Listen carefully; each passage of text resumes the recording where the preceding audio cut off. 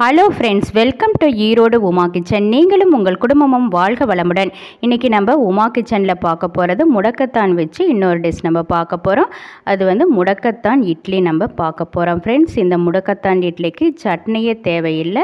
அவ்வளோ டேஸ்ட்டாக இருக்கும். நீங்கள் வந்து இது சட்னி வச்சு சாப்பிட்ணுன்னா தேங்காய் சட்னி வச்சுக்கலாம். இல்லாட்டி வெறும் இட்லியே சாப்பிட்ட போதும் சூப்பராக காலையில் பிரேக்ஃபாஸ்ட்டு இது ரெடி ஆயிரும். அந்த கசப்புத்தன்மை எதுவுமே இருக்காது. இது மாதிரி செஞ்சீங்கன்னா உங்களுக்கு கசப்புத்தன்மையே இருக்காது. முடக்கத்தான் கீரை சாப்பிட்ட அந்த திருப்தி இருக்கும். பெரியவங்களுக்கும் சின்ன குழந்தைங்களுக்கு எல்லாத்துக்குமே இது ரொம்ப உடம்புக்கு நல்லது. உடல் சோர்வு கை கால் வலி மூட்டு வலி எல்லாத்தையுமே இது குணப்படுத்தும். சரி ஃப்ரெண்ட்ஸ் இந்த முடக்கத்தான் இட்லி எப்படி செய்யலான்னு பார்க்கலாம். அதுக்கு முன்னாடி சப்ஸ்கிரைப் பண்ணாமையே நிறைய வியூவர்ஸ் நீங்கள் பார்த்துட்ருக்கீங்க. எல்லாருமே சப்ஸ்கிரைப் பண்ணாதான் எனக்கு அடுத்த வீடியோ போடுறதுக்கு ஒரு என்கரேஜ் பண்ண மாதிரி இருக்கும் ஃப்ரெண்ட்ஸ் சரி இது வரைக்கும் சப்ஸ்கிரைப் பண்ணவங்களுக்கு எங்கள் மனமார்ந்த நன்றியை நாங்கள் தெரிவிச்சுக்கிறோம். சரி ஃப்ரெண்ட்ஸ் லைக் பண்ணுங்கள் ஷேர் பண்ணுங்கள் கமெண்ட் பண்ணுங்கள் உங்கள் கருத்துக்கெல்லாம் நாங்கள் கண்டிப்பாக ஏற்றுக்குவோம் சரி ஃப்ரெண்ட்ஸ் எப்படி நம்ம முடக்கத்தான் இட்லி எப்படி செய்கிறதுன்னு பார்க்கலாம். வாங்க ஃப்ரெண்ட்ஸ் வீடியோக்குள்ளே போகலாம்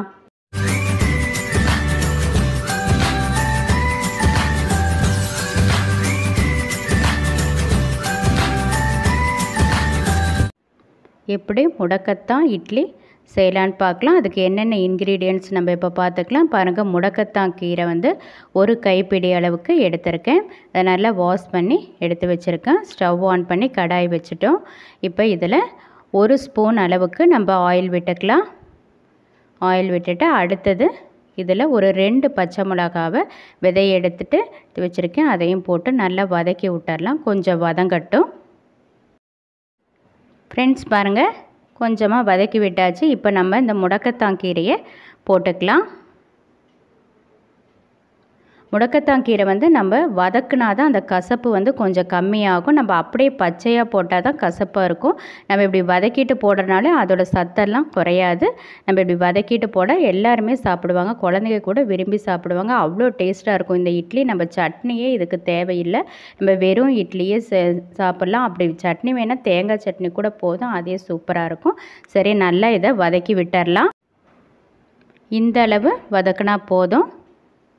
சரி நம்ம ஸ்டவ் ஆஃப் பண்ணிடலாம். கடாய் வச்சிட்டோம் ஸ்டவ்வில் இப்போ இதில் ஒரு ஸ்பூன் அளவுக்கு ஆயில் விட்டுக்கலாம். ஆயில் விட்டு கடலைப்பருப்பு கால் ஸ்பூன் உளுந்து கால் ஸ்பூன் போட்டுக்கலாம். போட்டு கொஞ்சம் அப்படியே ஃப்ரை பண்ணி விட்டுறலாம். கொஞ்சம் ஃப்ரை ஆகட்டும். பாருங்கள் ஃப்ரை ஆயிடுச்சு அடுத்தது இதில் வந்து என்ன இன்க்ரீடியன்ட்ஸ்னால் பெரிய வெங்காயம் ஒரு பெரிய வெங்காயத்தை நல்லா நான் பொடியாக நறுக்கி வச்சுருக்கேன். அதை போட்டுக்கலாம்.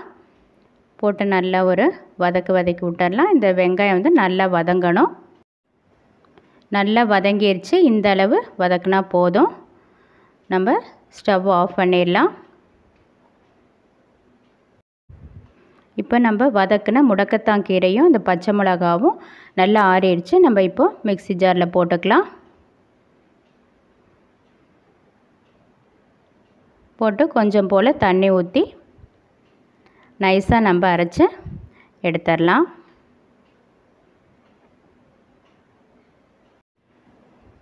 நல்லா நைஸாக அரைச்சி எடுத்துட்டோம். இந்த அளவு நல்லா நைஸாக அரைச்சிக்கணும்.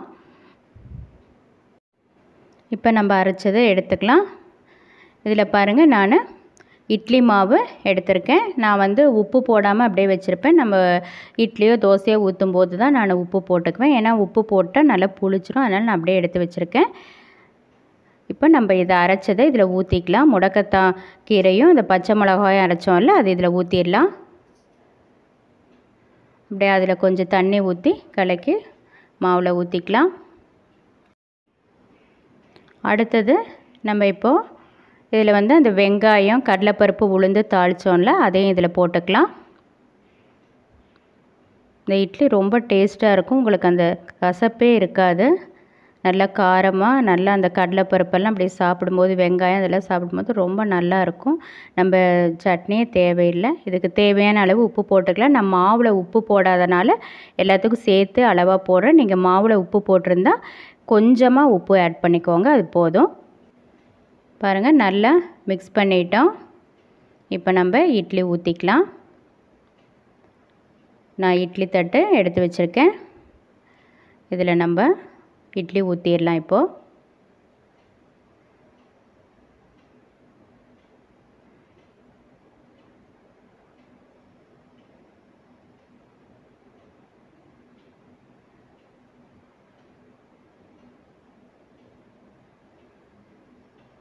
இதை நீங்கள் ட்ரை பண்ணி பாருங்கள் உங்களுக்கு ரொம்ப பிடிக்கும். நம்ம வந்து இந்த முடக்கத்தான் கீரையை தனியாக கீரையால் செய்ய முடியாது. இது மாதிரி நம்ம செஞ்சோன்னா அந்த கசப்பும் இருக்காது. உடம்புக்கும் ரொம்ப நல்லது. நம்ம இதை வந்து இது மாதிரி ஒவ்வொரு டிஃப்ரெண்ட் டிஃப்ரெண்ட்டாக நம்ம டிஷ்ஷில் ஆட் பண்ணி கொடுக்கலாம். இட்லியெல்லாம் நம்ம ஊற்றி வச்சுட்டோம். இப்போது நம்ம ஸ்டவ்வில் இட்லி பாத்திரத்தில் வச்சு இட்லி வேக வச்சிடலாம். ஃப்ரெண்ட்ஸ் பாருங்கள் இட்லினா வெந்திருக்கும். பாருங்கள் இட்லி வெந்துருச்சு. சரி நம்ம ஸ்டவ் ஆஃப் பண்ணிடலாம். ஃப்ரெண்ட்ஸ் பாருங்கள் சூப்பராக முடக்கத்தான் இட்லி ரெடி ஆயிடுச்சு இதை நீங்கள் ட்ரை பண்ணி பாருங்கள் இது உங்களுக்கு ரொம்ப பிடிக்கும். செய்கிறதும் ரொம்ப ஈஸி நம்மளுக்கு இதுக்கு சட்னி அரைக்கணும்னு தேவையே இல்லை. நம்ம வெறும் இந்த இட்லி சாப்பிட்டாலே ரொம்ப நல்லாயிருக்கும் காரமான அந்த கடலைப்பருப்பு வெங்காயம் அதெல்லாமே அதில் இருக்கிறதுனால ரொம்ப டேஸ்ட்டாக இருக்கும். உங்களுக்கு அப்படி சட்னி வேணால் தேங்காய் சட்னி அரைச்சா கூட போதும். எல்லாருமே இது விரும்பி சாப்பிடுவாங்க. எல்லோரும் அடிக்கடி இது செய்ய சொல்லுவாங்க. இந்த முடக்கத்தாங்கீரை உடலுக்கு ரொம்ப நல்லது. நீங்கள் இதை ட்ரை பண்ணி பாருங்கள் ஃப்ரெண்ட்ஸ் சரி ஃப்ரெண்ட்ஸ் இந்த முடக்கத்தாங்கீரை இட்லி நீங்கள் செஞ்சு பார்த்துட்டு எங்களுக்கு கமெண்ட் பண்ணுங்கள் இந்த வீடியோ பார்த்ததுக்கு தேங்க்யூ ஃப்ரெண்ட்ஸ்